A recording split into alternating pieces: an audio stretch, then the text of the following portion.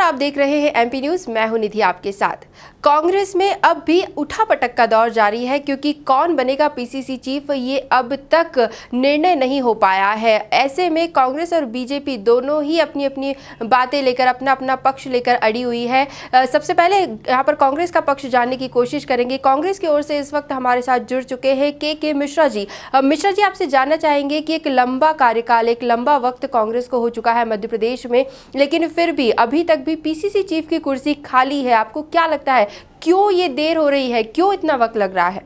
देखिए तो पहली बात तो ये कि कमलनाथ जी के नेतृत्व में सत्ता और संगठन दोनों बहुत ही तालमेल से चल रहे हैं। इस बात कोई जल्दबाजी नहीं है। और चूँकि मामला लंबित है और हमारी नेता सोनिया गांधी जी जो भी निर्णय लेंगी वो तो सबको मान्य होगा क्योंकि विधानसभा चुनाव आ गया था झाबुआ का इलेक्शन तो उसमें जो मामला लंबित था वो काफ़ी दिनों से पेंडिंग हो चुका है। और मुझे उम्मीद है कि कार्यकर्ताओं की भावनाओं के अनुरूप जो भी अध्यक्ष होगा सोनिया गांधी जी उन्हें जल्द ही घोषित करेंगी। जी लेकिन फ़िलहाल मंथन अभी भी जारी है।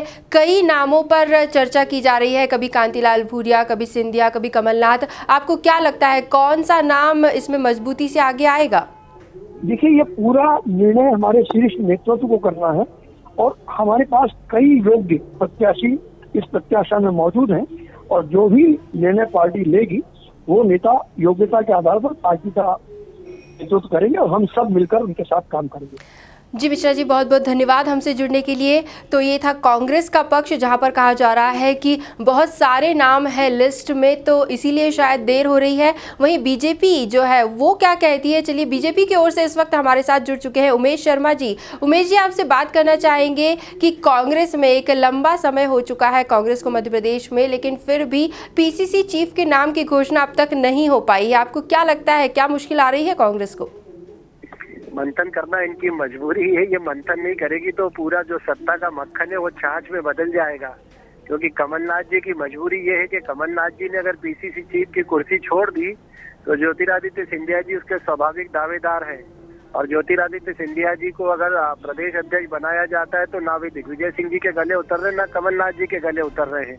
तो कमलनाथ जी जो है, ये दोहरा दायित्व मजबूरी में निभा रहे हैं कि ज्योतिरादित्य सिंधिया जी को रोकना है। कांतिलाल भूरिया जी इन लोगों की एक नई उम्मीद बन के उभरे हैं। जी। और मुझे लग रहा है कि ज्योतिरादित्य सिंधिया जी के साथ तो ज़बरदस्त अन्याय इस समय कांग्रेस पार्टी में हो रहा है।